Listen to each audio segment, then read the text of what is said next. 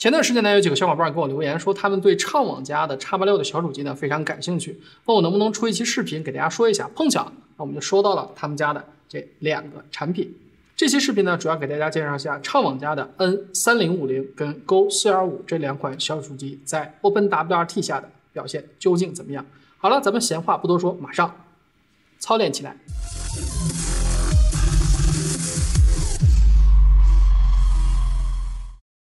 Hello，大家好，欢迎来到金水神技能，我是金水。好，我们大家一起来看一下它的包装。彩壳的包装呢，相对比较简约啊。打开之后呢，是一个机器的本体。那接下来呢，是一个十二伏三安的电源的适配器，一根 SATA 线跟一根专用的供电线。那这次的两个小主机呢，都采用了一样的外壳。那整体的大小呢，就只有巴掌大小。那体积减少的同时呢，它的散热面积却肉眼可见的增加了。那么重量呢，足足有四百多克。那整体的用料呢，还是非常的扎实的。除了准系统的版本之外呢，他们俩还有另外的两个开发的版本，这属于开放式的散热。那同时价格呢也会更低。那长得呢就像一个小板凳一样，那比较适合那些追求极致性价比甚至是价格的小伙伴。由于这两个型号使用的模板外壳都是一模一样的，所以呢外观上基本上没有太多的变化。正面呢一个 DC 电源的接口，Go C25 呢使用了英特尔的 IR6V 的网卡，那 N3050 呢是两个千兆的网口。使用的是螃蟹家的八幺幺幺的网卡，那两个 USB 三点零的接口，一个 HDMI 一点四的接口，跟一个开机的电源按键。这里呢，我们还可以看到 Go C 二五的版本呢，这里面还多了一个 Reset 的按键。取下四个螺丝，我们就可以打开它的盖板。那我们可以看到 Go C 二五这里有一个 NVMe 插四的插槽，旁边呢是一个最大支持十六 G 的 DDR 四的内存插槽，而三零五零则是一个 DDR 三的内存插槽和一个 mSATA 的插槽和一个 SATA 三点零的接口。CPU 核心方面呢，两个都属于赛扬的处理器，Go C25 呢已经是我们的老朋友了，在这儿呢我们就不多赘述了。如果有想了解这款 CPU 的小伙伴呢，可以去看我这一期的视频。三零五零是二零一五年 Q 一季度发布的十四纳米工艺，主打移动产品两核两核心，TDP 功耗呢六瓦。N 三零五零的基础频率呢是一点六吉赫兹，最高呢是二点一六吉赫兹，最高支持八 G 幺六零零的 DDR 三的内存，支持 AES 新指令集，英特尔的虚拟化 VT 杠叉，但是。不支持 VT 杠 D。由于这两款小主机的用户呢，大概率不会装 Windows，那我们在这儿呢就直接进行 OpenWRT 的测试。首先呢，我们来看一下 OpenWRT 常用的加密算法的成绩表现。在同样的系统跟测试条件下，我们分别测试了 Go C25 跟3050。那我们的老朋友 Go C25 的跑分呢，还是像以往一样，基本上没有太多的变化。那大家感兴趣的话，可以暂停看一下。在这儿呢，我们着重看一下大家比较感兴趣的 N3050。首先呢是 AES 八万八千四百九十四分。接下来呢是叉叉二零是七万零六百五十六分，最后呢是 ChromeMark 一万五千六百六十六分。在测试的时候呢，CPU 最高可以保持在八瓦左右的功耗。室温二十八度，我们记录了一下两台设备待机时间，待机二十四小时，两台设备的 CPU 平均是在四十度左右，那功耗呢维持在五瓦左右。接下来呢，我们来看一下它的网络测速，Go C25 的网络测速呢都是可以跑满千兆的带宽的，CPU 的使用率最高呢也是在百分之二十三左右。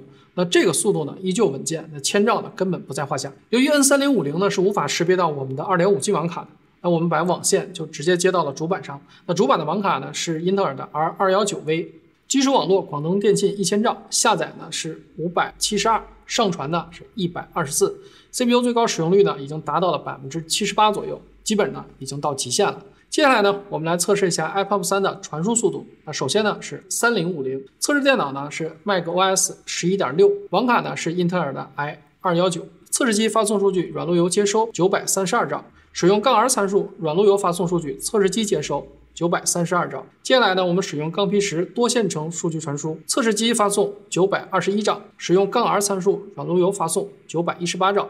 这个速度呢，对于螃蟹家的网卡呢，已经是非常不错的表现了。最后呢，我们来测试一下 Go C25 网口传输的表现。本次我们测试的 Go C25 呢，已经升级到了 i 2 6 V 的网卡。我们在软路由上打开 iPop 三服务端，在我们的电脑上运行客户端。这里测试电脑系统为 macOS 十一点六，网卡呢使用的 TP-Link 二点五 G 的网卡。测试机发送数据软路由接收二点三六 G，使用杠 R 参数软路由发送数据，测试机接收二点三五 G。接下来呢，我们使用杠 P 十多线程数据传输，测试机发送数据二点三九 G，使用杠 R 参数软路由发送数据二点三五 G。整体来说呢，这块网卡的速度跟稳定度呢，相比 R 五的网卡呢，还是略胜一筹的。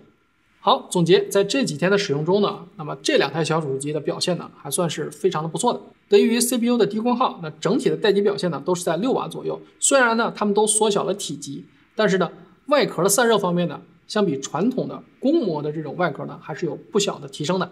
开机一整天摸上去呢，也只是有一点温热的感觉。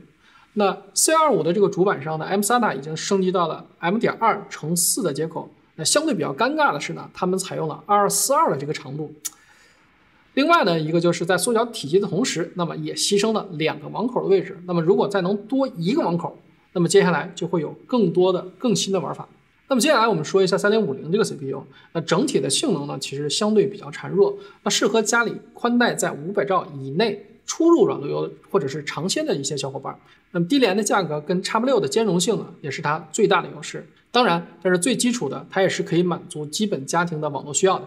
二零二二年的下半年的小主机市场呢，卷的是越发的疯狂。英特尔呢，跟 AMD 家的新 CPU 呢，也是悉数的登场。那最近呢，金水准备了一期双十一的选购指南的节目，那有哪些想看的呢？大家欢迎给我留言。好。到这里呢，就是今天节目的全部内容了。希望可以在你选择软路由的时候呢，给你一些些的帮助。欢迎大家点赞、评论或转发。如果你觉得这期视频做的还不错，或者是有帮到你，那麻烦大家给三连。YouTube 小伙伴呢，记得点开那个订阅的小铃铛，这样你才不会错过任何一期最新影片的推送。